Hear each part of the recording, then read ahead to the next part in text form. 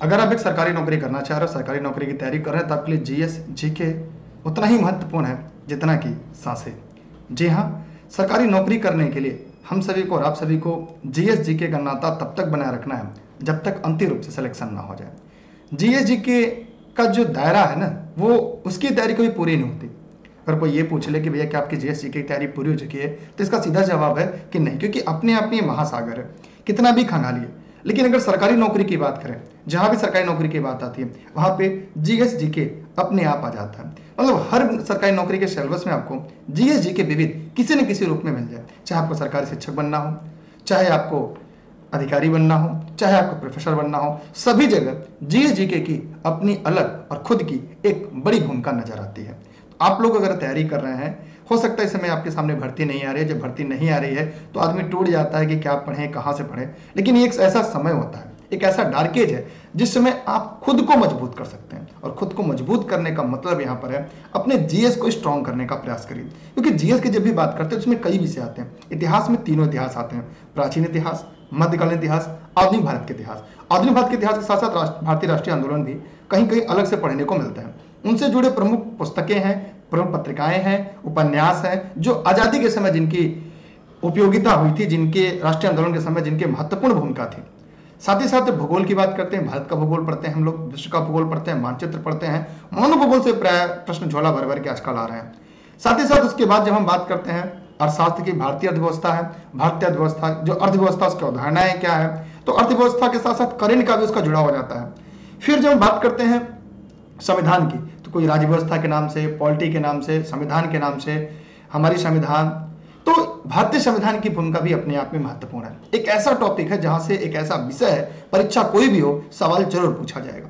तो भारतीय संविधान को पूरा तैयार कर लीजिए। मतलब कुछ कड़ी ऐसे होते हैं जहाँ से प्रश्न हर बार पूछे जाते हैं। उन कड़ियों को शॉर्ट में पढ़ने का प्रयास करिए, तैयार करने का प्रयास करिए। फिर जब भारतीय संविधान के बाद अगर हम बात करें तो आपने भी देखा होगा कि विज्ञान की भूमिका, सामान्य विज्ञान की भूमिका अपने आप में महत्वपूर्ण होती है। सामान्य विज्ञान में फिजिक्स केमिस्ट्री बायोलॉजी और उसके बाद साइंस एंड टेक्नोलॉजी मतलब विज्ञान, प्रौद्योगिकी उसके अंतर्गत आता है। फिर खगोल विज्ञान जो भूगोल के साथ साथ हम लोग अध्ययन करते हैं, फिर वो साइंस में भी अध्ययन करना पड़ जाता है। फिर नैनो टेक्नोलॉजी भी आजकल पढ़ने के लिए मिलती है। तो करंट से भी विज्ञान को जोड़कर पढ़ना होता है। तो ये सारी स्पेस साइंस भी है। तो ये विज्ञान का जो सिलेबस है, ये आपकी परीक्षा के लिए उपयोगी है। इसको भी आपको पढ़ना होगा। कंप्यूटर क्योंकि आजकल जितनी भी नौकरियाँ लग रही हैं, उनके लिए कंप्यूटर ज्ञान होना ज़रूरी है। और कंप्यूटर के सवाल इसलिए प्राय पूछे जाते हैं। और चाहे कोई भी सेक्टर हो। इसी जीएस में भी जुड़े जाते हैं। उसके बाद विविध का कॉन्सेप्ट आता है मतलब स्टैटिक जीएस जी के तो स्टैटिक जीएस जीके की भूमिका भी उतनी है। क्या कोई विषय छूट रहा तो कमेंट करके बताइएगा, जो मैं अचानक से भूल गया हूँ। तो उसको भी कमेंट बताइए, मैं उससे भी बताने का प्रयास करूँगा। इनको मिलाकर जीएस की एक पगडंडी तैयार होती है, जिस पगडंडी पर चलकर एक ऐसी पुल तैयार होती है, जिससे चढ़कर हम अपने सफलता रूपी नैया को पार कर सकते हैं। जब भी सरकारी नौकरी की बात आती है इसकी भूमिका अपने आप महत्वपूर्ण हो जाती है इसकी भूमिका अपने आप बेहतर हो जाती है इसके लिए आप प्रतिदिन चाहे तो इसके लिए सबसे बेस्ट किताब लूसेंट है लूसेंट का अस्तित्व कभी खत्म नहीं हुआ है और एनसीआरटी एससीआरटी आप पढ़ते रहिए एनसीआरटी भी दो होती है एक ओल्ड एनसीआरटी है एक न्यू एनसीआरटी है और अभी एक और एनसीआरटी आ रही है तीसरी एनसीआरटी तो तीनों एनसीआरटी की निचोड़ को आपको पढ़ते रहना होगा क्योंकि एनसीआरटी से जो कॉन्सेप्ट है वो पूरा क्लियर होगा स्टेप बाय स्टेप उसमें सरल है थोड़ा कठिन है थोड़ा कठिन छह से लेकर बारह तक की कंप्लीट एनसीआरटी पढ़ डालिए।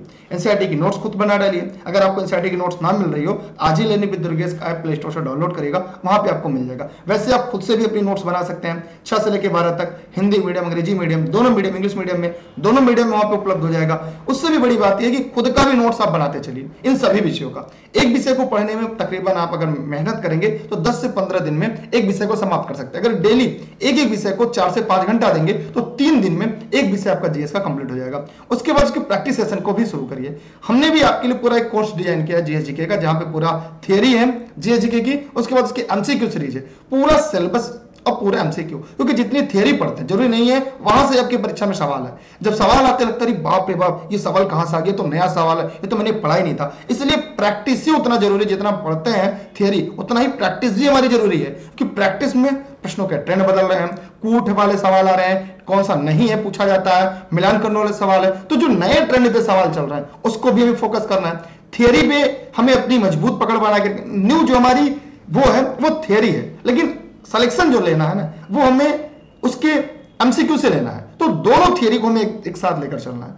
सफल व्यक्ति असफल व्यक्ति में छोटा सा अंतर है। सफल व्यक्ति निरंतरता विश्वास करते हैं डेली पढ़ते रहते हैं भर्ती आए ना आए उनका बस एक मोटो है सिलेक्शन लेना है। वो अपने आप को दिन ब दिन प्रतिदिन डे बाय डे अपने को मज़बूत करते चलते हैं। और असफल व्यक्ति जो होते हैं वो क्या था जब परीक्षा आएगी था पढ़ लेंगे कौन सा पहाड़ टूट गया। लेकिन अगर आपने जीएस जी के तैयार कर लिया तो जब परीक्षाओं की डेट आती है जैसे एक सपोज़ दैट जैसे आप यूपी ट्रिपल एस की तैयारी कर रहे हैं, बिहार सुपर टेट कर रहे हैं यूपी सुपर टेट कर रहे हैं केवीएस की है डीएसएसबी की, या वीडियो एग्ज़ाम की कर रहे हैं पीसीएस की तैयारी कर रहे हैं तो जो जीएस का होता है ना, वो दायरा, जैसे पूछ लिया जाए कि भारतीय संविधान में किस अनुच्छेद को भारतीय संविधान की आत्मा और हृदय अंबेडकर जी ने कहा था? चाहे वो संविधान का ये प्रश्न है, किसी भी परीक्षा की तैयारी कर रहे हो, अगर ये पूछा जा सकता है तो इसका मतलब ये नहीं है कि, सर, ये मेरे सिलेबस में नहीं है।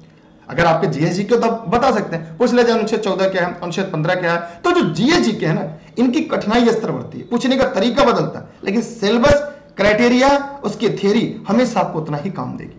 चाहे वो संविधान हो, चाहे अर्थव्यवस्था हो, चाहे वो आपकी साइंस का सवाल हो, हिस्ट्री हो, ज्योग्राफी हो, ऐसा थोड़ी है कि अगर पानीपत की पहली लड़ाई 1526 में हुई थी तो अगर सुपर डेटे पढ़ेंगे तो सत्ताईस में हो जाएगी, और पेट के लिए पढ़ेंगे तो अट्ठाईस हो जाएगी, ऊपर ट्रिपल एस पढ़ेंगे तो पंद्रह सौ उनतीस हो जाएगी, और अगर गलती से आपने पीसेस के लिए पढ़ लिया तो पंद्रह सौ चालीस में हो जाएगी, ऐसा नहीं है।